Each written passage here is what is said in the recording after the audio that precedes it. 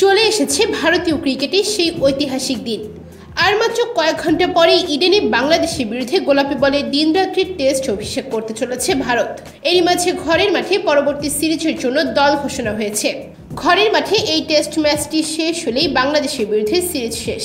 এরপর ভারত সফরে আসছে ওয়েস্ট ইন্ডিজ দল। ডিসেম্বরে ঘরের মাঠে ওয়েস্ট ইন্ডিজের বিরুদ্ধে তিন ম্যাচের টি টোয়েন্টি এবং তিন ম্যাচের ওয়ান ওয়ানডে সিরিজ খেলবে ভারত। আর ওয়েস্ট ইন্ডিজের বিরুদ্ধে সিরিজের জন্য গতকাল সন্ধ্যেতে নির্বাচকরা দল ঘোষণা করেছেন। দর্শক, এবার চলুন জেনে আসি ওয়েস্ট ইন্ডিজের বিরুদ্ধে টি টোয়েন্টি সিরিজ এবং ওয়ানডে সিরিজে ভারতীয় স্কোয়াডে কারা বাদ পড়লেন আর কারাই থেকে গেলেন একাদশে। দর্শক, প্রথমেই জানব টি টোয়েন্টি সিরিজের স্কোয়াড সম্পর্কে। বাংলাদেশের বিরুদ্ধে টি টোয়েন্টি সিরিজ থেকে বিশ্রাম নেওয়া বিরাট কোহলির দলে প্রত্যাবর্তন হয়েছে।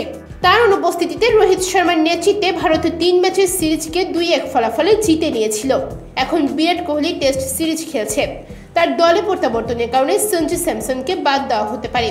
তাকে বাংলাদেশের বিরুদ্ধে দলের জায়গা দেওয়া হয়েছিল, কিন্তু তাকে বিনা ম্যাচ খেলিয়ে দল থেকে বাদ দেওয়া হয়। অন্যদিকে ঋষভ পন্থের লাগাতার খারাপ পারফরমেন্সের পরও তাকে দলে রাখা হয়েছে। বিরাট কোহলির সঙ্গে কুলদীপ যাদব আর ভুবনেশ্বর কুমারেরও দলে প্রত্যাবর্তন হয়েছে। ভুবি ওয়েস্ট ইন্ডিজ সফরে শেষ ম্যাচ খেলেছিলেন। কুলদীপ যাদব ফেব্রুয়ারিতে ভারতের হয়ে শেষ টি টোয়েন্টি ম্যাচ খেলেছেন। রবীন্দ্র জাদেজাকেও দলে সামিল করা হয়েছে। এদের দলে আসে খলিল আহমেদ ক্রুনাল পান্ডিয়া, রাহুল চাহার এবং শার্দুল ঠাকুরকে দল থেকে বাদ দেওয়া হয়েছে। টেস্টে দুর্দান্ত প্রদর্শন করা মোহাম্মদ সামিও দলে সামিল হয়েছেন। জোরে বোলার শেষপিত বুমরা আর অলরাউন্ডার হার্দিক পান্ডিয়া এখনও দলের বাইরে রয়েছেন। আহত হওয়ার কারণে দুই খেলোয়াড় দীর্ঘদিন ধরেই মাঠের বাইরে রয়েছেন। পান্ডিয়ার পিঠের সার্জারি হয়েছিল আর তারপর থেকে তিনি মাঠেও ফেরেননি। যদিও তিনি জিমের ট্রেনিং শুরু করে দিয়েছেন আর দ্রুতই তাকে মাঠে দেখা যেতে পারে। দর্শক, এবার বলে দিচ্ছি ওয়েস্ট ইন্ডিজের বিরুদ্ধে টিম ইন্ডিয়ার টি টোয়েন্টি স্কোয়াড। ওপেনার হিসেবে থাকছেন রোহিত শর্মা, শিখর ধাওয়ান। এছাড়া রয়েছেন লোকেশ রাহুল বিরাট কোহলি, ঋষভ পন্থ, মনীষ পান্ডে, শ্রেয়া সাইয়ার, শিভম দুবে, রবীন্দ্র জাদেজা ওয়াশিংটন সুন্দর, যুজবেন্দ্র চাহাল, কুলদীপ যাদব, দীপক চাহার, ভুবনেশ্বর কুমার এবং মোহাম্মদ সামি। দর্শক, এবার জানব ওয়ানডে সিরিজের স্কোয়াড সম্পর্কে। ওয়েস্ট ইন্ডিজের বিরুদ্ধে প্রথম ওয়ানডে খেলা হবে পনেরোই ডিসেম্বর চেন্নাইতে। এরপর দ্বিতীয় ওয়ানডে খেলা হবে আঠারোই ডিসেম্বর বিশাখাপত্তনমে।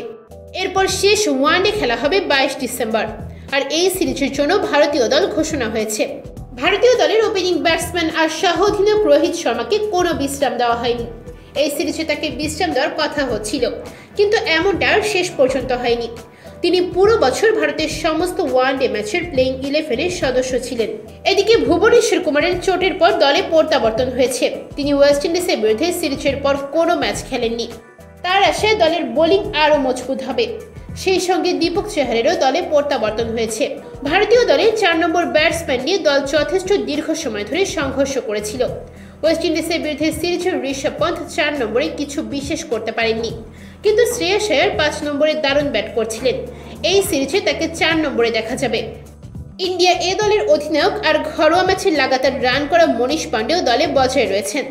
তিনি ওয়েস্ট ইন্ডিজ সফরে গত ওয়ানডে সিরিজ খেলার সুযোগ পাননি। এই সিরিজে তাকে ফিনিশারের ভূমিকা দেওয়া হবে। ওয়ানডে দলে প্রথমবার শিভম দুবেকে জায়গা দেওয়া হয়েছে। হার্দিক পান্ডিয়া এখনও পর্যন্ত ফিট হতে পারেননি, আর এই কারণে শিভম দুবেকে দলে সামিল করা হয়েছে। তিনি বাংলাদেশের বিরুদ্ধে টি টোয়েন্টি সিরিজের দলে জায়গা পেয়েছিলেন। দর্শক চলুন এবার জানিয়ে দেই ওয়েস্ট ইন্ডিজের বিরুদ্ধে টিম ইন্ডিয়ার ওয়ান ডে স্কোয়াড। অধিনায়ক হিসেবে থাকছেন বিরাট কোহলি।